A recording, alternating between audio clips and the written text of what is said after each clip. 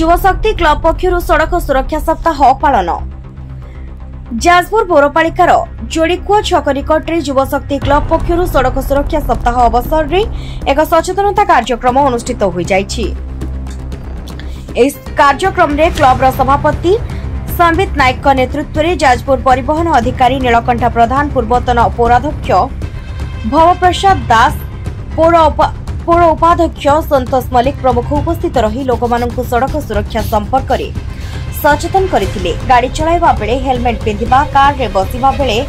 Seat belt পিঁধিবা V সচেতনতা বার্তার প্রচার করা যাইছিলা।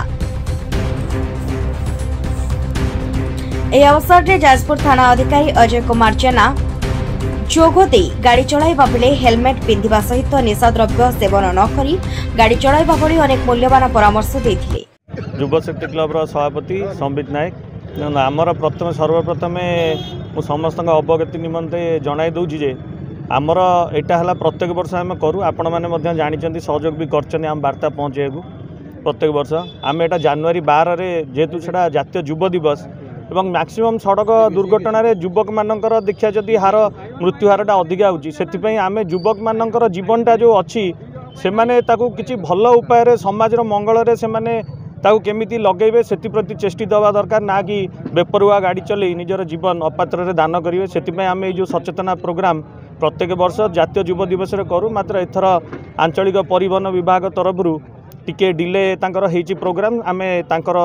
ଯେଉଁ ନିଷ୍ପତ୍ତିକୁ ସମ୍ମାନ ଜଣାଇ ଏବଂ ତାଙ୍କ ସହିତ ସହଯୋଗିତାରେ ଆଜି ଏଇ ପ୍ରୋଗ୍ରାମ୍ଟିକୁ କରିଥିଲୁ ଦେଖନ୍ତୁ ଗୋଟେ ଦିନରେ ତ କେବେ ବି ଲୋକଙ୍କୁ ଆମେ ସଚେତନ କରିପାରିନି ଆମେ ବି ସଚେତନ ହେଇପାରିନି କିନ୍ତୁ ଏହା ଗୋଟେ ଛୋଟ ପ୍ରୟାସ କିଛି ଲୋକ ଏହା ଦ୍ୱାରା ଯଦି ସଚେତନ ହେଇକି ଚେଞ୍ଜ ହେଇପାରନ୍ତି ସ୍ଲୋଲି ସ୍ଲୋଲି ସବୁବେଳେ ଆଗକୁ ନିଶ୍ଚିତ ରୂପରେ ବହୁତ ଲୋକ ସଚେତନ ହେବେ ଏବଂ ସଡ଼କ ଯେଉଁ ଦୁର୍ଘଟଣା ହେଉଛି ସେଥି ଯେଉଁ ମୃତ୍ୟୁ କିମ୍ବା କୌଣସି ପ୍ରକାର ଦୁର୍ଘଟଣା ଆମେ କିଛି ମାତ୍ରାରେ କମ୍ କରିପାରିବା